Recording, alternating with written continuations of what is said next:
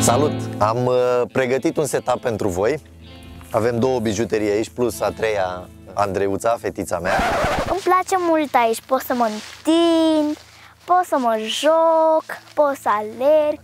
Uh, ce am vrut să verific și să testez, A7R2 aparatul meu de bază de zi cu zi, A9-le aparatul pe care l-am acum în test și care m-a impresionat extraordinar de mult pentru tracking și focus cât de bun este, cât de bine face chestia asta. Când am testat prima oară A7R2, am rămas uimit de cât de bine ține ai focusul, ai AF, AI, ochi AF, focusul pe ochi, tracking continuu. Ăsta mă, mi s-a părut mult mai avansat, mult mai rapid, mult mai precis, inclusiv uh, deci când detectează fața, inclusiv din profil, dacă te întorci, detectează ochiul un singur ochi. Și am zis, hai să văd cât de bine face tracking uh, comparativ cu A7R2. N-am aceleași obiective, pe A9 am montat 24-70 cu 2.8, pe A7R2 am montat 16-35 cu 4.